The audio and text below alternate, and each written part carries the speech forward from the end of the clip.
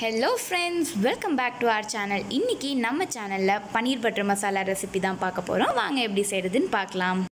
கடாய் சூடானதுக்கப்புறம் one teaspoon oil சேர்த்துக்கலாம். இது கூடவே ஒரு டூ டீஸ்பூன் பட்டர் சேர்த்துக்கலாம்.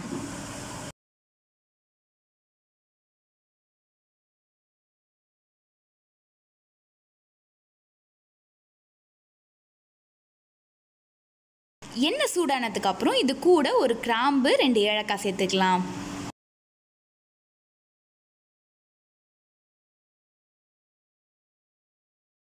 இது கூடவே ஒரு மூணு பெரிய சைஸ் வெங்காயத்தை கட் பண்ணி வச்சுருக்கேன். இதையும் நம்ம இது கூட சேர்த்துக்கலாம். நல்லா சாஃப்ட் ஆகிற வரைக்கும் இதை நம்ம வதக்கிக்கலாம்.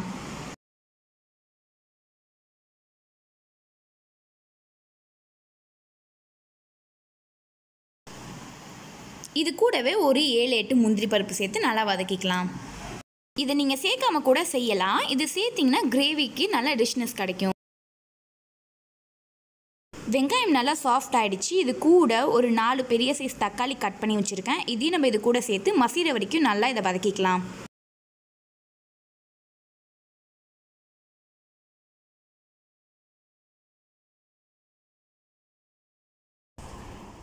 இப்போ ஒரு மூடி போட்டு லோ ஃப்ளேமில் டென் மினிட்ஸ்க்கு நல்லா மசீர வரைக்கும் விட்டு எடுத்துக்கலாம்.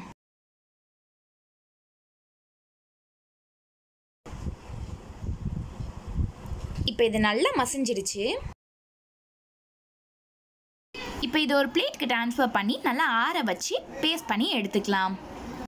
இந்த மாதிரி ஸ்மூத் பேஸ்ட்டாக அரைச்சி எடுத்துக்கோங்க. இப்போ கடாயில் த்ரீ டீஸ்பூன் ஆயில் சேர்த்துக்கலாம். இது கூட ஒரு டூ டீஸ்பூன் பட்டர் சேர்த்துக்கலாம்.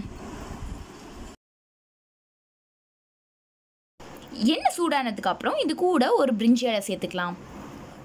இது கூடவே ஒரு பச்சை மிளகாவை கட் பண்ணி வச்சுருக்கேன் அதையும் நம்ம சேர்த்துக்கலாம்.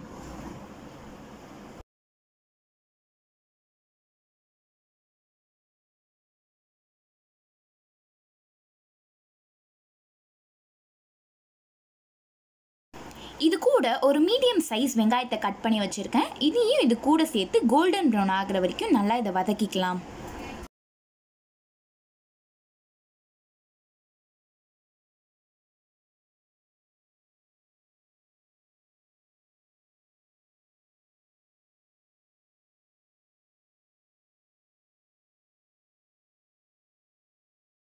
இப்போ நல்லா கோல்டன் ப்ரௌன் ஆயிடுச்சு.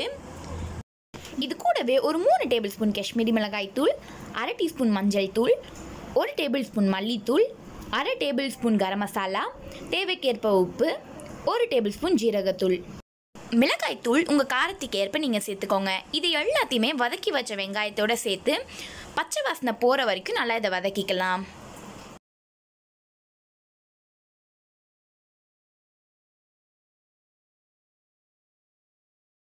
இப்போ இதை நம்ம நல்லா மதக்கியாச்சு இது கூடவே நம்ம அரைச்சி வச்சிருந்த பேஸ்ட்டை சேர்த்து நல்லா இதை மிக்ஸ் பண்ணிக்கலாம்.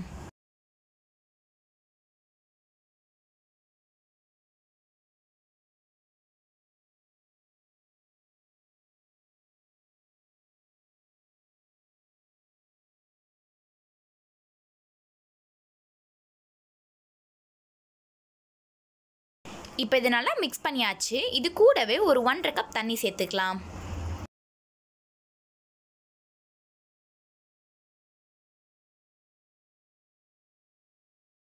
இப்போ இது நல்லா கொதிச்சிடுச்சு. இது கூடவே ஒரு ரெண்டு டேபிள் ஸ்பூன் ஃப்ரெஷ் க்ரீம் சேர்த்துக்கலாம். இது வந்து ஆப்ஷனல் தான்.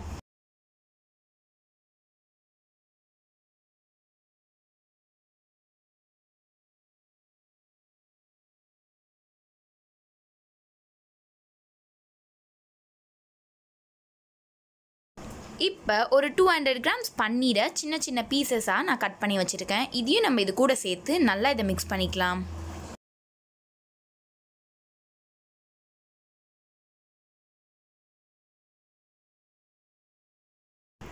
இப்போ கொஞ்சம் கொத்தமல்லி சாப் பண்ணி வச்சுருக்கேன். இதையும் நம்ம இது கூட சேர்த்துட்டா நம்மளோட எம்மியான பன்னீர் பட்டர் மசாலா ரெடி ஆயிடுச்சு.